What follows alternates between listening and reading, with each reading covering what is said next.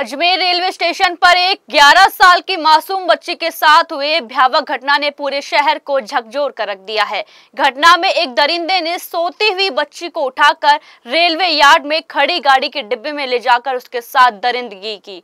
पीड़िता के परिवार वाले ग्वालियर एक्सप्रेस से अपने गाँव लौटने के लिए अजमेर आए थे और दरगाह जियारत के बाद प्लेटफॉर्म पर सो रहे थे। इसी दौरान रात के समय आरोपी ने सोती हुई बच्ची को उठाया और उसे यार्ड में खड़ी एक गाड़ी के डिब्बे में ले गया।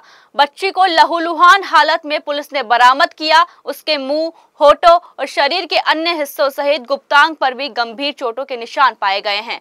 बच्ची को तुरंत जीआरपी थाना पुलिस द्वारा जीएलएन अस्पताल में भर्ती करवाया गया है, जहाँ इसका उपचार जारी है। पुलिस ने मामले की जाँच को गंभीरता से देखते हुए आरोपी की तलाश तेज कर दी है। जीआरपी थाना पुलिस के अनुसार घटना स्थल और आसपास के क्षेत्र में लगे सीसीटीवी कैमरों की फुटेज की जाँच की जा रही है और जल्द ही आरोपी को पकड़ने की पूरी कोशिश भी की जा रही है।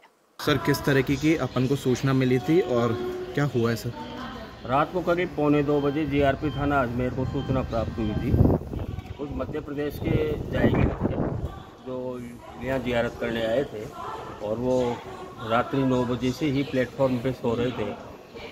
तो उन्होंने रात को करीब, डेढ़ बजे के करीब जब उनकी जाग हुई तो उन्होंने अपने बच्चों को संभाला। तो एक ग्यारह बारह साल की बच्ची और दो एक बैग उनके पास से गायब थे। उन्होंने अजमेर थाना, जीआरपी थाना अजमेर को सूचना दी, जिसके बाद एस और उसकी टीम बालिका की तलाश में जुट गए। करीब साढ़े चार बजे के करीब बालिका को एक ट्रेन जो प्लेटफॉर्म नंबर चार पे खड़ी थी, उसके डब्बे से दस्तियाब किया और इस संबंध में बालिका के साथ मारपीट भी हुई है। तो बालिका का मेडिकल कर मेडिकल बोर्ड के द्वारा मेडिकल करवाया जा रहा है और अभियुक्त के बारे में हमको जो है महत्वपूर्ण सुराग लगे हैं, उसके लिए हमने विशेष टीमें गठित कर दी है और शीघ्र ही अभियुक्त को जो है हम दस्तियाब कर लेंगे, गिरफ़्तार कर